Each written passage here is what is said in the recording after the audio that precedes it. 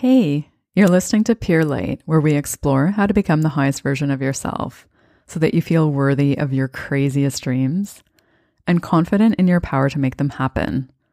My name is Aili. I'm a coach and a Kundalini yoga and meditation teacher. This is episode 39, and it's about distracting yourself from your inner knowing. So, I realized recently that I had done this a couple of years ago and the thing that brought it to my attention is the fact that I've been sharing ideas on Instagram lately from the book that I'm working on. So I've been using the hashtag be the you that you love. And my original goal was to do this for 40 days. And when I passed that a couple of days ago, I decided to keep going, but it also made me reflect on where that idea came from. And I remembered that that was actually the tagline of my site a number of years ago. So, when I first started my coaching practice, I wanted to build my business and my online presence as quickly as possible. And I had no idea how to do that because I had never really used social media at that time, except for LinkedIn, which I finally caved and joined at one point uh, before I left the corporate world because I kept getting invitations to join it. But I hadn't really used it. I had never been on Facebook. I had never been on Twitter. I had never been on like anything.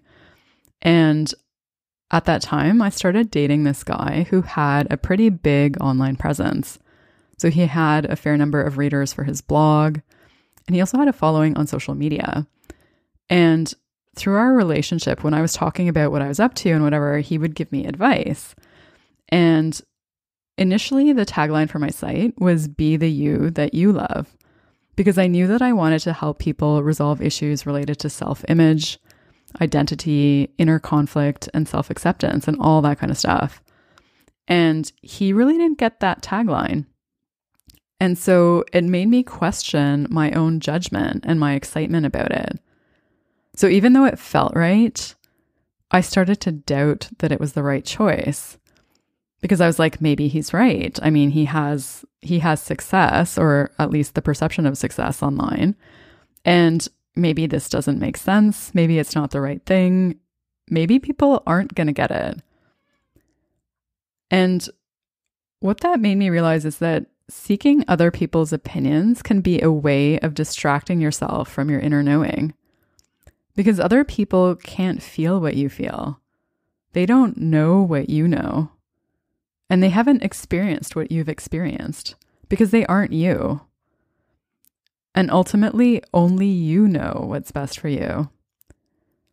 Trusting someone else's judgment above your own is a way of abandoning yourself and abandoning your inner wisdom. And this is not to say that they're wrong. They're totally entitled to have an opinion and a perspective that's different than yours.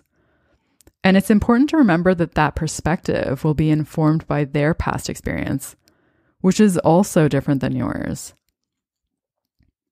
And this is not to say that you should never seek advice or ask other people for their opinions. It's incredibly useful if you're still figuring out what's best for you or if you're still kind of gathering information. But if you already know that something is true for you and you need to act on it, asking other people for their opinion can be a way of distracting yourself from that inner knowing because it's a way of looking for them to validate what's true for you.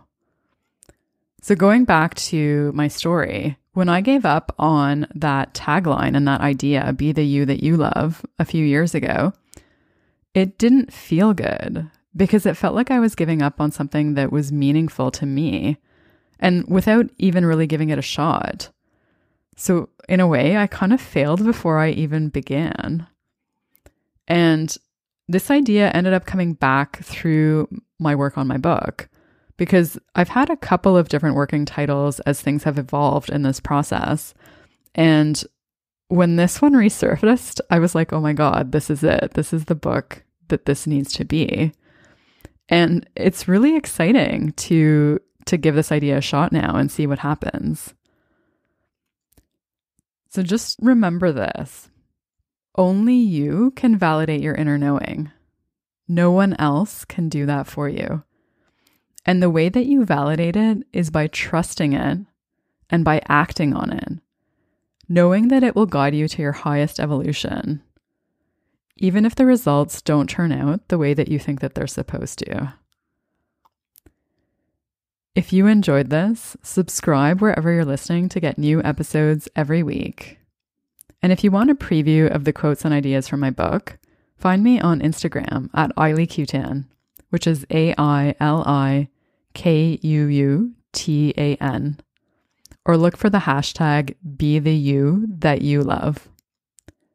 Thank you so much for listening. Until next time, may you be guided by your light.